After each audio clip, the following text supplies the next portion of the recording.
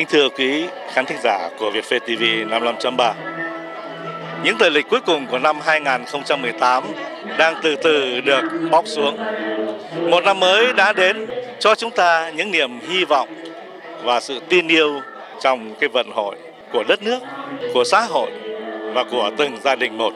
Trong tâm tình đó, Đức Phạm và Thiền Lê đang có mặt tại trụ sở cộng đồng người Việt quốc gia hạt Tehran để dự buổi tổng kết một năm hoạt động. Xin quý vị theo dõi phóng sự này.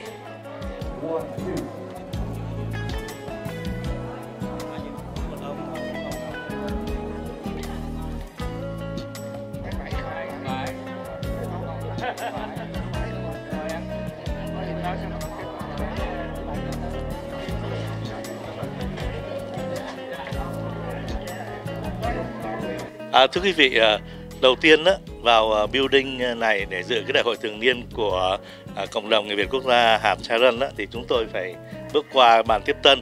Và thưa quý vị ở trên đây chúng ta có thấy là để ủng hộ cộng đồng Sharon hiện nay đó trong cái gây quỹ để có thể xây dựng tìm một cái nơi sinh hoạt cho cộng đồng. Và ở đây chúng tôi thấy các chị đang bận rộn với những cái công tác tiếp khách hoặc là hướng dẫn cho khách. Thì thưa quý chị có thể gửi lời chào đến cho đài ạ. Dạ, tôi là Thảo Nguyễn xin trân trọng kính chào đài khán khán thính giả của đài Việt Phay TV.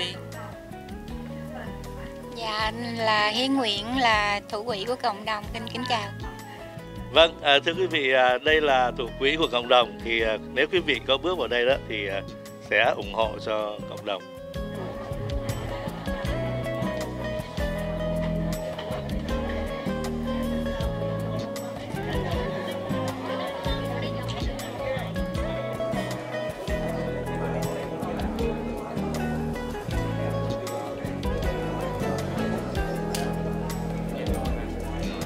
Thưa quý vị, bên cạnh chúng tôi là ông Hồ Văn Điền, Chủ tịch của Ban uh, điều hành Người Việt Quốc gia hạt Charan. À, thưa anh Điền, có thể cho quý khán thính giả của Vietjet TV 55.3 được biết cái nội dung chương trình của cái buổi sinh hoạt ngày hôm nay ạ? Đại hội thường niên là cái à, chương trình à, hàng năm của cộng đồng Việt Quốc gia hạt Charan.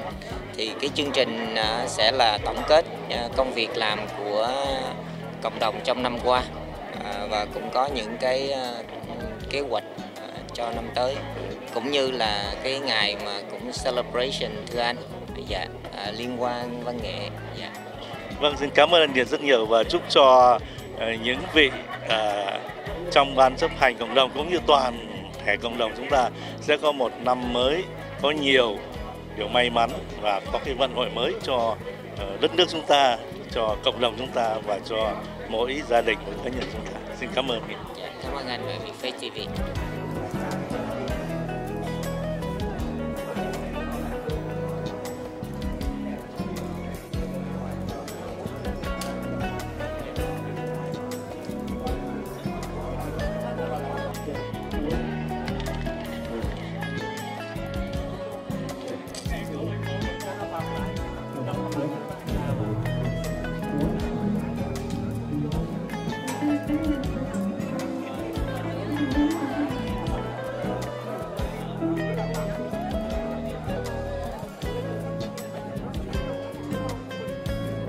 À, thưa quý vị, à, bên cạnh chúng tôi à, là Commissioner Nguyễn Xuân Hùng.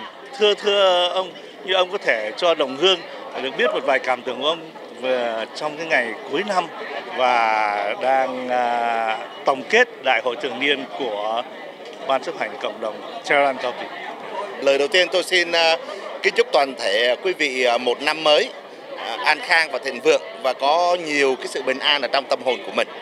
À, cứ hàng năm á, là tổ chức cộng đồng người Việt quốc gia hạt Hàng đi tổ chức một cái ờ, buổi đại hội thường niên. Cái mục đầu tốt đầu tiên là để à, chung vui với nhau trong những cái ngày cuối năm.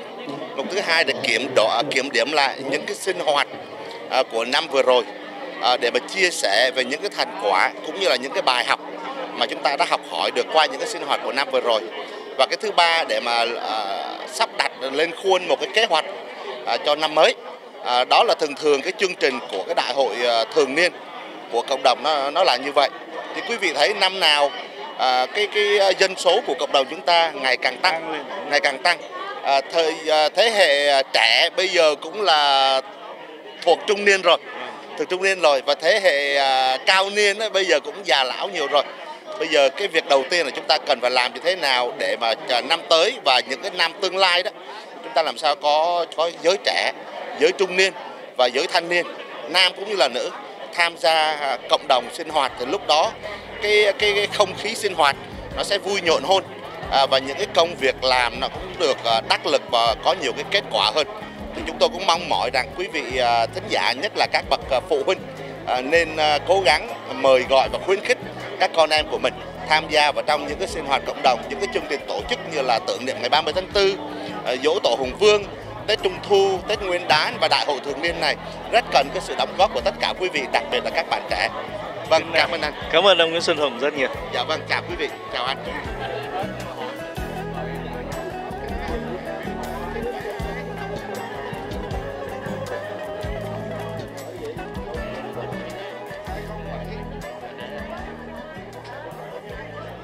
Quý vị ờ, đứng bên cạnh chúng tôi là tiến sĩ Trương Minh Ẩn, phó thị trưởng của thành phố Houghton DC.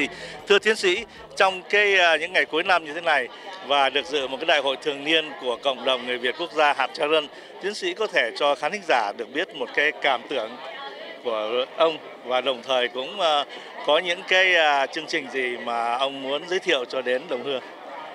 À, xin cảm ơn anh đã cho tôi có cơ hội để nói chuyện đồng bào trong cuối năm à, trước hết á, là à, hôm nay là đại hội thường niên của đồng cộng đồng Tarang County cũng như Dallas bất cứ chỗ nào chúng ta cũng đều có những cái cộng đồng để giúp đỡ đồng bào có những cái nơi gặp gỡ với nhau những ngày cuối năm hoặc là những ngày lễ. Thì à, trong cuối năm á thì như anh đã biết á, trong thời gian qua chúng ta có hai chỉ một cái vùng to lớn đây chỉ có hai người Việt Nam gọi là dân, dân cử thôi. Nhưng mà đã một người vì không đủ uh, số phiếu à, đó là một cái thất bại mà nhân dịp cuối năm này á, tôi muốn nhắc nhở đồng bào á, là người nào có quốc tịch phải nên đi bầu. Và thấy người lỗ mũi tẹt da vàng mình á là phải bầu. Tại vì với một cộng đồng to lớn như vậy mà bây giờ chỉ còn tôi là người Việt Nam duy nhất là dân cử thì quá buồn. Thì ờ, nhân dịp này xin ờ, tôi khuyên tất cả những người nào có quốc tịch nên ghi danh bầu cử. Đừng bao giờ nói lá phiếu tôi không bầu có người khác bầu một triệu đồng bắt đầu bằng một sen. Nhớ vậy. Dạ xin cảm ơn. Dạ. cảm ơn tiến sĩ rất nhiều. Dạ cảm ơn. À, sau đây kính mời tất cả quý chị trong ban hợp ca cộng đồng ra phía trước để chúng ta chuẩn bị làm lễ chào cờ. Quốc ca hoa kỳ bắt đầu